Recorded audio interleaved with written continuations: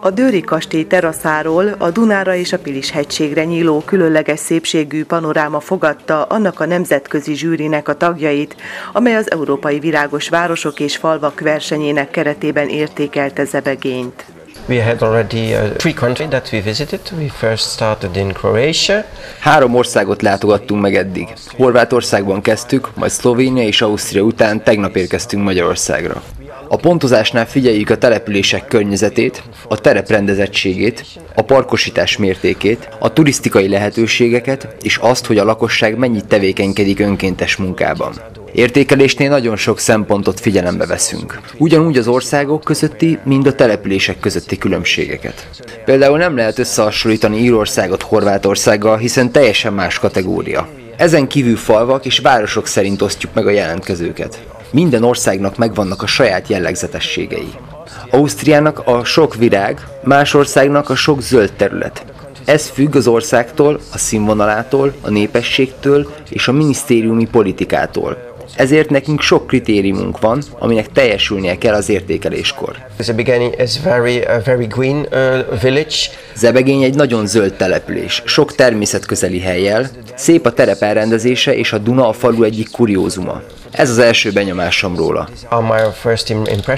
Hát Zebegénynek a táji adottságai annyira sajátosak, hogy még Magyarországon belül sem tudjuk összehasonlítani más településekkel, hiszen egyrészt sokkal nagyobb a, a zöldfelt aránya, az, az erdősültség jelentősen nagyobb, nagyon értékes az építészete, és a víz közelsége szintén nagyon egyedivé teszi. Nem is, nem is szeretjük összehasonlítani a különböző településeket, mindenki más adottságokkal indul, más klimatikus adottságokkal, más anyagi felkészültséggel, más szakmai háttérrel. A magyar településeknek is van egy sajátossága, mint ahogyan mondjuk egy adott ír vagy egy osztrák településnek is megvan a, a saját jellegzetessége. Az osztrákok nagyon sok virágot ültetnek, nagyon szeretik a, a színes dekorációkat, mondjuk egy ír vagy egy angol ö, településen már más a kiültetés, de mondjuk egy holland faluban nem is a virágokon van a hangsúly, hanem inkább a zöld felületen. Teljesen országa válogatja, hogy ki milyen stílusban ö, szépíti a környezetét. A versenyt először 1975-ben rendezték meg, melyhez azóta 12 ország közel 25 ezer települése csatlakozott. Magyarországon 94-ben tartottak először környezetszépítő versenyt, ma már közel 300-an neveznek be. Brutkai János, a Virágos Magyarországért szervezőbizottságának elnöke elmondta, céljuk kezdetben a települések képének szebbététele volt, mely a kertészeti és turisztikai szakmák összefogásával indult. Kezdeményezésük már a mozgalommá szélesedett. Alapvetően, amikor elindult a verseny, akkor ez egy pusztán virágosítási verseny volt, tehát a, a virágágyásokat, illetve a különböző edényes kiültetéseket nézték a zsűritagok, de ahogyan változott a, a környezetünk, egyre nagyobb hangsúlyt kapott a környezetvédelem, a környezettudatosság, környezeti nevelés és kommunikáció, tehát picit elindult ez a verseny is a nemzetközi versennyel párhuzamosan egy ilyen környezetvédelmi irányba, ahol az embereknek az élet minőségét próbáljuk felmérni. Zebegényt hónapokon keresztül takarították a település önkéntesei azért, hogy a júliusi értékelésre a legszebb arcában tündököljön. Tartottak több szemétszedési akciót, összegyűjtötték az elkorhadt ágakat, facsemetéket, sövényt ültettek, virágágyásokat alakítottak ki, és több helyen felújításokat is végeztek. Az 1200 lakosú településen mintegy 8000 palántát ültettek ki, ebből 3000-et saját maguk neveltek. Több mint 100 cserjét és 30 gyümölcsfát telepítettek, számos helyen füvesítettek, valamint parkokat újítottak fel. A község rendbetételében részt vett csak nem a falu teljes lakossága, gyerekek felnőttek egyaránt, emelte ki Hutter Jánosné polgármester abban a beszámolóban, melyet az értékelő körút előtt tartott a Dőri kastélyban. Az utóbbi hónapban szinte az egész települést kitakarítottuk és felújítottuk. Ami talán nevesíthető, az a vesztanösvény és az ökokert tanösvény kiépítése volt, ami nagyon látványos. Látványos a ökokertnek a kialakítása és létrehozása. És az kezelés az persze természetesen rengeteg új virágos kertünk épült, úgyhogy én abszolút meg vagyok elégedve az elmúlt hónapok tevékenységében. A prezentációt követően a nemzetközi zsűri négy órás útja során 11 helyszínre látogatott el. Az út első állomásaira azzal a katonai teherautóval utaztak, amely a Zebegényben több éve megrendezésre kerülő Sárkányfesztivál helyszínére szállítja a látogatókat. A zsűritagok először a Baba Parknál álltak meg, ahol minden évben az ebegények napján elültetnek egy-egy rózsatövet az egy éven belül született gyermekeknek. Innen Fehér István Dunára néző mediterrán jellegű kertjébe vezetett a zsűri útja. A pilismaróti származású agrármérnök gyermekkorában sok időt töltött Zebegényben, 30 évvel ezelőtt költözött családjával a településre. A háza alatti több mint száz éves pincében családi múzeumot rendezett be, ahol különleges borgyűjteménye is helyet kapott. Egy évig tanultam Franciaországba, Mediterrán mezőgazdasági intézetbe, és tulajdonképpen az ötletet az egész projektre az adta, szerettem volna a Dunakanyarban egy olyan hangulatot teremteni, ami mediterrán jellegű, de Dunakanyarba illik. A kertben nagyon sok növényem van, és azokat a növényeket meg fogom mutatni. Van szőlőm, naspolyám, almám, és van kis kertészetem. Meg fogja látni, hogy egy kis helyen mennyi mindent lehet elrakni. Fehér István kertjében Selmeci Kovács Ádám, a Dunai Poly Nemzeti Park munkatársa, a Duna két oldalán Budapesttől egészen Fejér megyéig elterülő Nemzeti Park történetéről tartott rövid előadást. Ez cseresznyenekvár. A cseresznye a térség egyik jellegzetes gyümölcse. 16 hektáron termesztik. 60 hectare. And we exported these cherries mi is exportáljuk Hollandiába, az Egyesült Királyságba és Londonban az élelmiszerboltokban is megtalálható. Ezután a teherautó hegynek vette az irányt, ugyanis a következő állomás a Sárkány Fesztivál helyszíne, a Sárkány domb volt.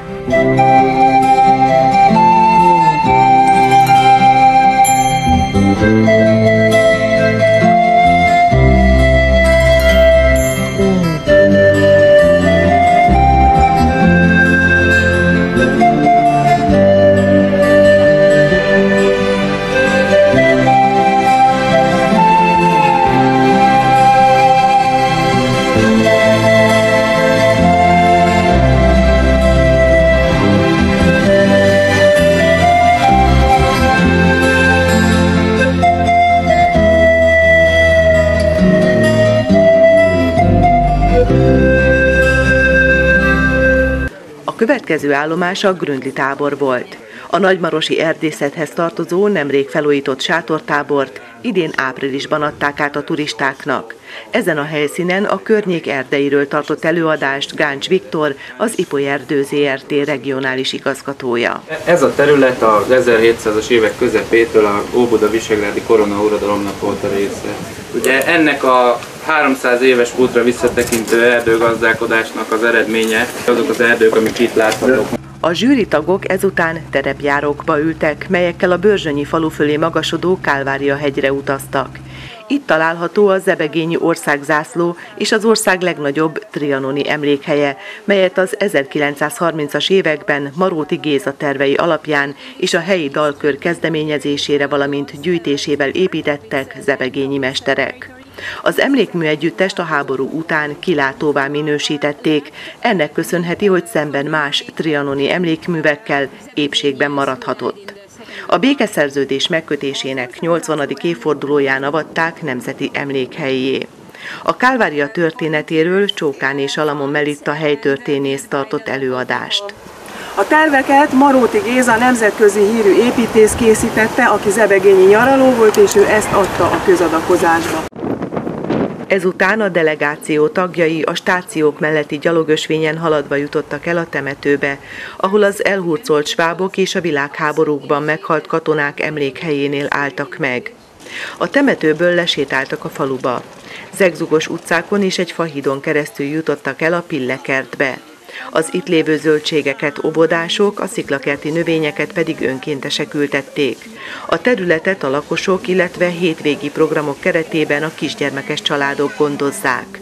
A közkertben környezeti nevelést célzó programokat is tartanak. Ilyen volt például a veteményes vasárnap, vagy a nagyobb iskolásoknak rendezett akadályverseny, melyen zöldségekkel kapcsolatos feladatokat kellett megoldaniuk. A Pillekertről Vörös Ildikó kertészmérnök beszélt a zsűrinek. A legfontosabb cél az volt, hogy behozzuk ide a gyerekeket, és megmutassuk nekik az ételeik elsődleges formáját. Mit esznek, mi van az asztalukon, és miből főzünk a konyhában.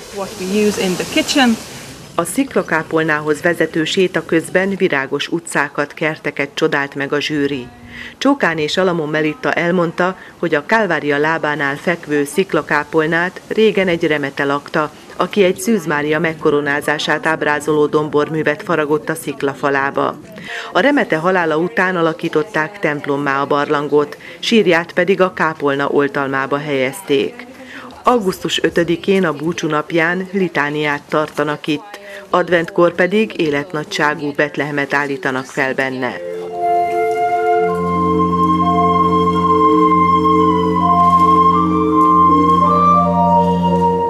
A Havas Boldogasszony plébánia templomba az Ave Maria zenéjére virágszínmok záporában tértek be a vendégek.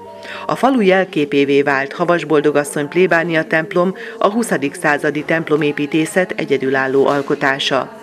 Kós Károly tervei alapján helyi mesterek és segédek munkájával épült magyaros szecessziós stílusban.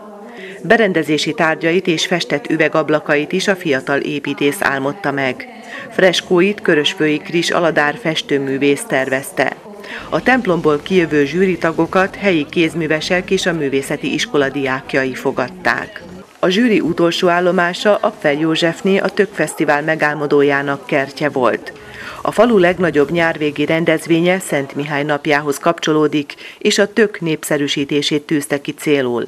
Az értékelő körút után a zsűritagok visszavonultak a döntéshozatalra. A zsűri kritériumrendszere 100 pontos, és az, aki 86 pont felett teljesít, az megkapja az aranyminősítést, aki 76 pont felett teljesít nemzetközi versenyben az ezüst minősítést kap, és aki 66 pont felett teljesít, az pedig bronz minősítést kap. Több arany minősítésű településünk van. Talán ami a legérdekesebb, hogy falu kategóriában összesen egy, Lipót, de város kategóriában több aranytelepülésünk van. Ilyenek például Eger, Kaposvár, Nagyatád, Siófok, azt gondolom, hogy Zebegény nagyon-nagyon szépen, méltóképpen képviselte Magyarországot, és én személy nagyon büszke vagyok rá, és azt gondolom, hogy egy nagyon-nagyon klassz összefogás alakult itt ki a felkészítő csapatban az önkormányzat és a helyi civilek, illetve a helyi munkatársak között.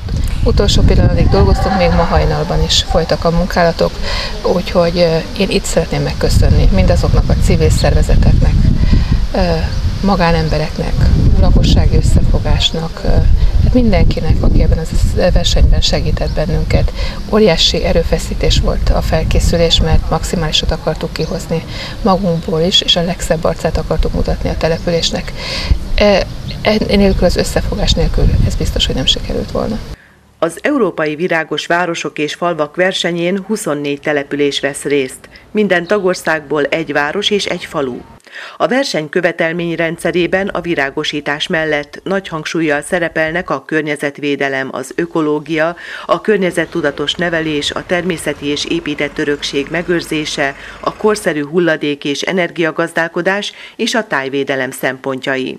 A zsűritagok kiemelt figyelmet fordítanak a település tisztaságára és mentességére. A nemzetközi versenyen induló településeket a felkészülésben sem hagyja magára a Virágos Magyarországért Mozgalom Szervező Bizottsága. Figyelemmel kísérik és tanácsot adnak a fejlesztéseknél, virágosításnál, abban, hogy hogyan tudnak megfelelni a résztvevők a nemzetközi zsűri elvárásainak. A felkészítésben vezető szerepet tölt be Kanászné Szandi Éva kertészmérnök, a Virágos Magyarországért Mozgalom Szervező Bizottságának örökös tagja.